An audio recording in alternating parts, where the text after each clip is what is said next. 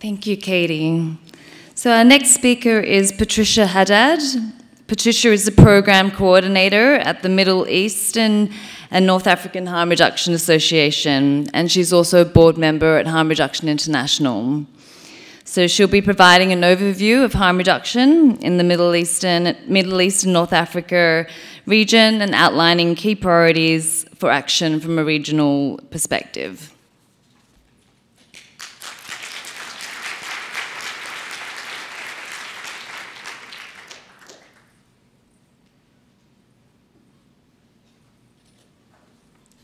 Thank you, Judy. Good morning, everyone.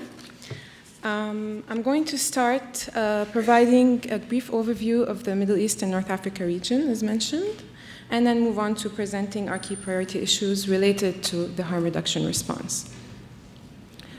The Middle East and North Africa is a diverse region with economic disparities between countries. It includes rich, high income countries such as the Gulf states, as well as middle to low income countries with very poor resources. The region can be described as volatile currently with a very highly unstable political environment. Throughout the past decade, a number of ongoing conflicts have erupted in countries such as Afghanistan, Iraq, Syria, and Yemen. These conflicts have affected their surroundings, creating a refugee influx mainly to the middle and lower income countries, a number of which are already struggling with their resources. In parallel, and although still uh, sorry, characterized as a low prevalence region, with an estimated 230,000 people living with HIV, the latest UNAIDS GAP report has highlighted an increase of 4% in new HIV infections between 2010 and 2015. In countries such as Egypt, Lebanon, and Yemen, new infections have increased by as much as 30 to 40 percent. Moreover, out of an estimated 21,000 new infections in 2015, more than 95% were recorded among key populations and their sexual partners. 27% of these infections were among people who inject drugs. Sorry. There is a wide range of estimates of people who inject drugs in the region from 335,000 to over 1.6 million mainly due to the limited data that's available. We're working on having a new estimate by the end of the year, and we hope this somehow bridges a gap in this area. HIV prevalence among people who inject drugs in the region is also variable, with countries such as Libya reporting the highest me measured prevalence of 87%, uh, while other countries such as Jordan, Lebanon, Syria, and Tunisia continuously report low prevalence. In 2014, it was estimated that about half of people who inject drugs have contracted hepatitis C in the region. Updated data on prevalence of viral hepatitis is limited. However, new infections are continuously reported among people who inject drugs in countries through programs that are supported by our organization, MENAHRA. So, where do we stand in harm reduction? Well, in the last decade, the MENA has witnessed noted progress in the field of harm reduction. Resources and efforts have been deployed to advocate for and implement harm reduction in the region, with MENAHRA leading on many initiatives. However, even with all of these efforts placed on both the national and regional levels by various stakeholders and partners, we are still a long way from having a conducive environment for harm reduction. And a number of recent developments are creating obstacles and even reversing some of this progress that we have witnessed. To start off, there is limited political commitment for harm reduction, and this was very apparent recently during the UNGAS process, where commitment and support by country representatives was absent. This is very problematic in terms of moving forward towards national ownership of harm reduction programs at the political level, as well as availability of services at the grassroots level.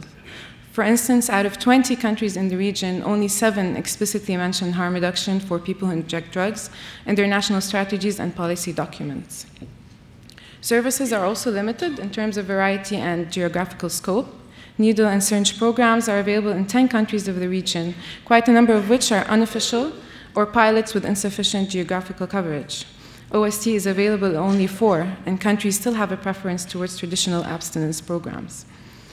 Even in countries such as Iran and Morocco that have implemented nationwide harm reduction strategies, coverage remains insufficient to meet the increasing needs. Naloxone is uh, limited to hospitals in most countries of the region, rendering it almost inaccessible to people who use drugs due to fear of police and incarceration in cases of overdose. Recently, however, advocacy efforts in Lebanon, led by civil society, a local NGO called Skoun, have um, succeeded in getting the Ministry of Health to issue an official statement to all hospitals to refrain from reporting overdose cases to the police in an effort to encourage people to seek help in such cases. We hope to see this um, development replicated in other countries. Peer distribution programs for naloxone are still not available, increasing risks of unnecessary deaths due to overdose. However, and following further advocacy from MENAHRA to include this intervention, uh, Lebanon will soon be the first country in the region to pilot a peer distribution program. Um, this process has been initiated, I'm happy to report, and hopefully the next time we meet, we will see more widespread um, programs of this uh, sort. The limited services available are also increasingly difficult to access by women and refugees. Access to services by women remains very low in most countries due to stigma and discrimination and women who inject drugs remain more vulnerable and at higher risk than their male counterparts. Availability of gender sensitive services are limited to one country only. Access of services by refugees is also limited due to lack of widespread geographical availability, as well as lack of tailored services for this population. The region is one of various cultural norms and religious beliefs. Um, political authorities and stakeholders are often influenced by them creating obstacles for widespread government support and funding of harm reduction services. Um, MENAHRA has initiated work on this issue with religious leaders as a step in collaborating with them. However, there remains much to be done. Both the criminalization of drug use in most countries of the region and the high stigma and discrimination are contributing to human rights violations against people who use drugs. A large number of people who use drugs are incarcerated in our region, mostly for drug use, but sometimes even for the mere possession of syringes in countries where needle and syringe programs are unofficially available. Within prisons, needle and syringe programs are not available anymore, with Iran stopping its programs. On the other hand, um, and on a more positive note, OST has recently been made available to some in some prisons in Lebanon and Morocco. There is limited region specific updated data and evidence including population size estimates and biobehavioral research. There is also, in parallel, a growing need for research regarding drug use among refugee and displaced populations. There is a lack of data and information in this area, making it very difficult to plan and develop programs and services based on their needs. And lastly, but definitely not least, funding in the MENA is an issue as the region is primarily not a priority to donors due to its overall low HIV prevalence and the number of countries within it that are classified as middle to high income. The general decrease and interruptions in HIV funding globally and the redirection of funding to address the humanitarian crisis have also greatly affected our region. The harm reduction response has mostly been reliable on international funding within MENA, and the Global Fund in particular. However, this funding is also currently decreasing. Transitioning to national funding for our programs is very crucial. However, given the described context, it's foreseen that this will be a very long process. So, from this quick overview, it's apparent that our needs are many. However, the key priorities that I would like to focus on are building political commitment, reforming policies, strengthening communities, as well as vital funding towards maintaining and scaling up available services. We need political commitment in order to move forward. Without it, limited services, the already limited service, are jeopardized and our opportunities are missed. For instance, recent governmental restrictions on external funding in Egypt and Jordan led to the abruption of services to people who inject drugs in both countries.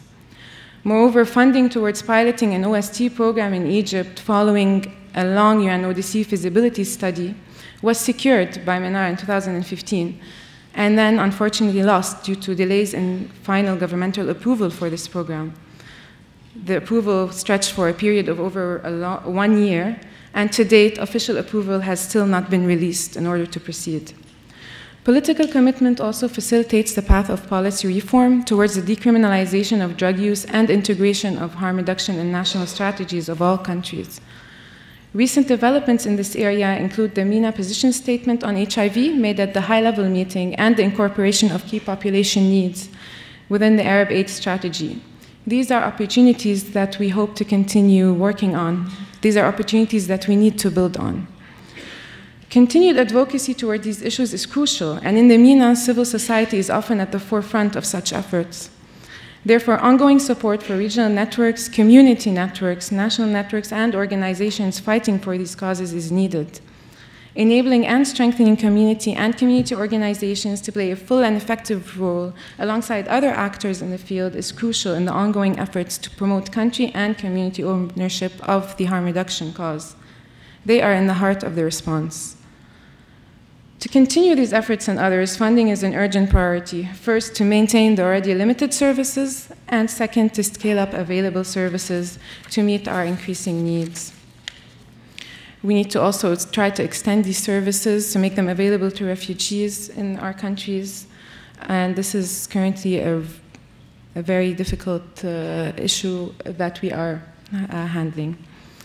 There is a need also to build the case towards increased HIV funding for the region, with a harm reduction response as a main element in programs to avoid further increases in these new HIV infections.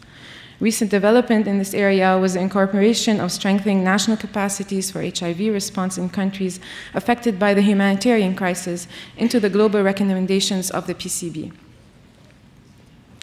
So, what will happen if we do not urgently address these issues? We're going to witness a halt of services for key populations in some countries, and especially in harm reduction services. Increases in prevalence of HIV, hepatitis B and C, and other related diseases among people who use drugs. Increases in deaths related to overdose, increases in incarceration for drug use and related offenses, increases in stigma and discrimination, and therefore human rights violations towards people who use drugs, delays in implementation and reform of policies after years of advocacy and efforts due to lack of follow-up. So, last but not least, I would like to invite you to join us in spreading the word and supporting the Middle East and North Africa and advocating for increased funding for HIV and in particular for harm reduction. Share our hashtag, don't leave MENA behind, and please visit our booth on the fourth floor. Thank you.